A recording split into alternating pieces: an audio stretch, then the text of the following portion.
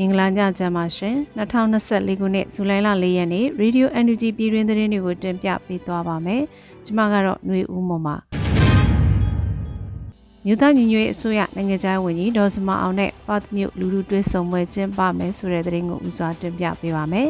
မြို့သားညီညွတ်ရေးအစိုးရနိုင်ငံခြားဝန်ကြီးဒေါ်စမအောင်နဲ့ဩစတြေးလျနိုင်ငံပတ်မြို့လူလူတွဲဆုံပွဲကျင်းပမယ်လို့သတင်းရရှိပါတယ်ဇူလိုင်6ရက်မှာမြို့သားညီညွတ်ရေးအစိုးရ၏နိုင်ငံခြားဝန်ကြီးဒေါ်စမအောင်နဲ့ ပတ်မြို့လူလူတွဲဆုံပွဲတွင်စားသောက်နှင့်ပစ္စည်းများကိုမြို့သားညီညွတ်ရေးအစိုးရရမုံငွေအတွက်လူဒန်းရောင်းချပေးသွားမှာလည်းဖြစ်ပါတယ်။မြို့သားညီညွတ်ရေးအစိုးရနိုင်ငံခြားရေးဝန်ကြီးဒေါ်စမအောင်ဟာတွဲဆုံပွဲမှာတော်လိုင်းအခြေအနေများနဲ့ပတ်သက်လို့ရှင်းလင်းပြောကြားသွားမှာလည်းဖြစ်ပါတယ်။စားသောက်များကိုနေ့လယ်12နာရီမှ2နာရီအတွင်းလူလူစည်းဝေးမတိုင်ခင်ရောင်းချပေးမှာဖြစ်တယ်လို့သိရပြီးမြမအစားအစာများလည်းပါဝင်မှာဖြစ်ပါတယ်ရှင်။ ဒေါန်ဆန်းစုကြည်ရဲ့ပုံတူပစီကားကိုဩစတြေးလျဒေါ်လာ4200နဲ့မြို့သမီးတဦးကဝယ်ယူတဲ့သတင်းကိုတင်ပြပေးပါအောင်မယ်။ဒေါန်ဆန်းစုကြည်ရဲ့ပုံတူပစီကားကို Energy နိုင်ငံခြားရေးဝန်ကြီးလူတူတွဲဆုံပွဲမှာဩစတြေးလျဒေါ်လာ4200နဲ့မြို့သမီးတဦးကဝယ်ယူသွားခဲ့တယ်လို့သိရပါတယ်။ဩစတြေးလျနိုင်ငံမဲလ်ဘန်မြို့မှာကျင်းပခဲ့တဲ့မြို့သားညီညွတ်ရေးအစိုးရနိုင်ငံခြားရေးဝန်ကြီးဌာနပြည်ထောင်စုဝန်ကြီးဒေါ်စင်မအောင်နဲ့လူလူတွဲဆုံပွဲမှာစီစဉ်တရက်အနေနဲ့ပကြီးကားတစ်ချက်ကိုအမှတ်တရလေးလံတင်ပွဲပြုလုပ်ခဲ့တယ်လို့သတင်းရရှိပါတယ်။ စူပါပကြီးကားဟာလူထုကောင်းဆောင်တော်ဆန်းစုကြည်ရဲ့ပုံရိပ်ဖြစ်ကပကြီးကားဟာလွန်ခဲ့တဲ့2002ခုနှစ်ကရေးဆွဲခဲ့တာဖြစ်ပြီးပကြီးဆရာကိုပေါဦးမှရေးဆွဲခဲ့တာဖြစ်ပါတယ်။လူထုကောင်းဆောင်တော်ဆန်းစုကြည်ရဲ့ပုံရိပ်ပကြီးကားကိုမတ်စုနီလာဒန်ပေါမှနေပြီးဩစတြေးလျဒေါ်လာ4200နဲ့လက်ဝယ်ပိုင်ဆိုင်သွားခဲ့ပါတယ်။ပကြီးကားလက်ဝယ်ပိုင်ဆိုင်သွားတဲ့မတ်စုနီလာဒန်ပါကိုပြည်ထောင်စုဝန်ကြီးတော်စမအောင်မှပေးအပ်ခဲ့တယ်လို့သိရပါတယ်ရှင်။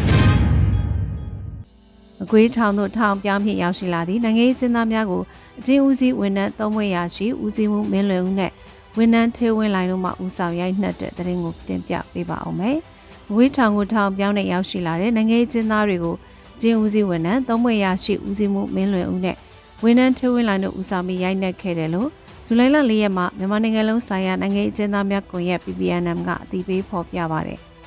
ဇွန်လ15ရက်နေ့တွင်မန္တလေးအိုဘိုကျင်းတော်မှမကွေးကျင်းတော်သို့ထောင်ပြောင်းဖြစ်ရရှိလာသည့်နိုင်ငံကျင်းသားများကိုမကွေးကျင်းတော်တာဝန်ခံမှရိုက်နှက်မှုများရှိခဲ့ပြီးထောင်နှင်းပြနေမှုများကိုစက်တိုက်ဆိုသလိုပြုလုပ်လျက်ရှိနေတယ်လို့ဖော်ပြပါတယ်။ထောင်ပြောင်းဖြစ်ရောက်ရှိလာသည့်နိုင်ငံကျင်းသားပါဝင်ကျင်းသား40ကျော်ကို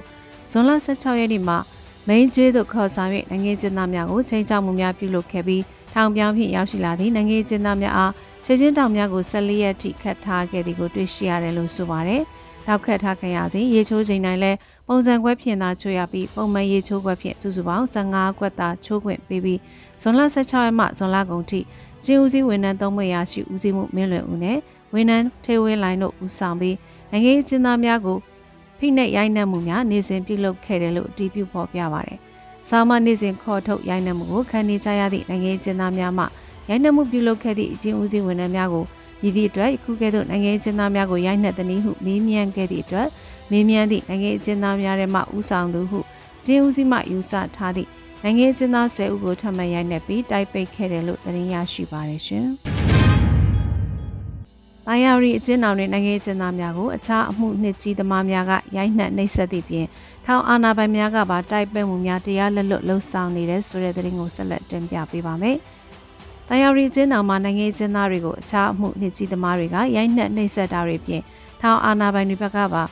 တိုက်ပိတ်မှုတွေတရားလက်လွတ်လှုံ့ဆော်နေတယ်လို့ Radio Energy ကသတင်းရရှိပါတယ်။ထောင်တွင်းစီကံနဲ့မျိုးဝင်းကျော်ကနိုင်ငံကျင်းသားများအားကိုမဝဲမနီရဝယ်ယူခိုင်းပြီးမွဲသည့်သူများကိုရိုက်နှက်နှိပ်စက်ကြောင်းခန်းတကြီးကျင်းသားတင်လိုင်းကလည်းနိုင်ငံကျင်းသားများကိုအကြောင်းမရှိအကြောင်းရှာနှိပ်စက်ရိုက်နှက်တယ်လို့သိရပါတယ်။ဒါအပြင်ကျင်းသားထိန်လင်းဦးမိုးကုတ် အောင်မြတ်သူကြော်ကြီးဆိုသူကျင်းသားသုံးက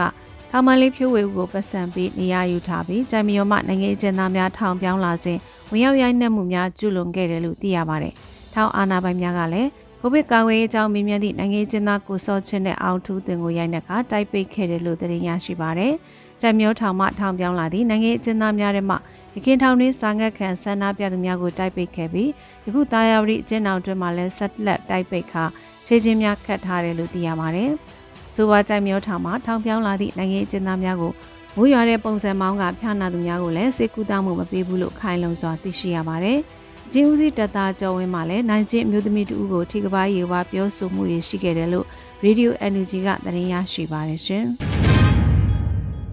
ဂျမတ်စီအုပ်စုနဲ့၎င်း၏လက်ပါစီများကြောင့်လူဒေါ်လိန်ကာလာတွင်သေဆုံးခဲ့ရသည့်ဒီမိုကရေစီရေးလှုပ်ရှားသူများနှင့်ပြည်သူစုစုပေါင်းမှာ9350တဦးရှိခဲ့ပြီဖြစ်တဲ့သတင်းကိုတင်ပြပေးပါမယ်။ဂျမတ်စီအုပ်စုနဲ့၎င်း၏လက်ပါစီများကြောင့်လူဒေါ်လိန်ကာလာတွင်သေဆုံးခဲ့ရသည့်ဒီမိုကရေစီရေးလှုပ်ရှားသူများနှင့်ပြည်သူစုစုပေါင်းမှာ9350တဦးရှိခဲ့ပြီဖြစ်တယ်လို့ AAPP ကဖော်ပြပါတယ်။ဖေဖော်ဝါရီလ1ရက်2021ခုနှစ်မတရားဆီယနာလူမှုဖြစ်စဉ်စတင်ချိန်ကနေ ဇူလိုင်လ3ရက်2024ခုနှစ်အထိဂျမတ်စီအုပ်စုနဲ့၎င်းရဲ့လက်ပါစီများကြောင့်လူဒေါ်လေးကာလာတွင်သေဆုံးခဲ့ရသည့်ဒီမိုကရေစီရေးလှုပ်ရှားသူများနဲ့ပြည်သူစုစုပေါင်းမှာ9350ဦးရှိခဲ့ပြီဖြစ်တယ်လို့ဖော်ပြပါတယ်။ AAPP နေနဲ့အတီးပြုရန်လိုအပ်နေတဲ့အမည်ဆုံးစမ်းစမ်းသက်ပြတ်ခံရသူ2000ဝန်းကျင်စီးရင်ကိုလည်းတီးခြားပြုစုထားတယ်လို့ဆိုပါတယ်။ဒါအပြင်မတရားအာဏာလုမှုဖြစ်စဉ်နဲ့ဆက်ဆက်ပြီးဖမ်းဆီးခံခဲ့ရသူစုစုပေါင်း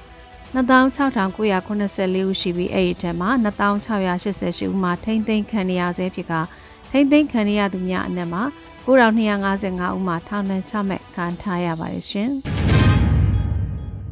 The Key Project ကရရှိငွေကြေးများကိုတော်လင်းရေးထံအမြန်ဖြန့်ချက်ဖို့ကိစ္စအလင်းမြန်ဆောင်ရွက်နေတဲ့တဲ့ရင်ကိုဆက်လက်တင်ပြပေးပါမယ်။ The Key Project ကနေရရှိတဲ့ငွေကြေးတွေကိုတော်လင်းရေးထံအမြန်ဖြန့်ချက်ဖို့ကိစ္စအလင်းမြန်ဆောင်ရွက်နေတယ်လို့ ဇူလိုင်လ၄ရက်မှာမမများနဲ့ပွဲကမယ်ကနေတည်ပြီးဖော်ပြပါတယ်။တကီးကရှိန်လဲရနေတာမို့အခုတလဆက်ရောင်းကြပါအောင်မယ်။လက်ရှိထိတစ်ကက်ပုံမှန်အယောင်းနဲ့ကလစ်ကာဘက်ကအားရီပေါင်းရင်ပြီးခဲ့တဲ့လမှာတင်ဒေါ်လာ9သိန်းသိန်းပေါင်း2000ကျော်ရရှိခဲ့ပါတယ်။လက်ရှိရရှိထားပြီးတဲ့ဗန်နာငွေတွေကိုအမြန်ဖြတ်ချက်ဖို့ကိစ္စတွေအလင်းအမြန်ဆောင်ရွက်နေရလို့ post တင်ကျနေရင်လည်းတကီးအတွက် post တွေကပြည်သူတွေကကိုစားတင်ပေးကြလှုံ့ဆော်ပေးကြပါလို့ဆိုထားပါတယ်။ ရှမ်းပြည်နယ်ကဒေါ်လာ2မီလီယံတန်ဖိုးရှိတဲ့ဟိုတယ်တစ်လုံးကိုတလိန်ရမငွေအတွက်ရောင်းချတဲ့ project တစ်ခုကိုဇွန်လ၁ရက်နေ့ကနေစတင်ပြီးမမများနဲ့ပွဲကမင်းကဦးဆောင်ခဲ့ပါတယ်။ project ကို The Key လို့အမည်ပေးထားပြီးလက်မှတ်တစ်စောင်ကို American Dollar 100နဲ့ရောင်းချပေးနေတာပဲဖြစ်ပါတယ်ရှင်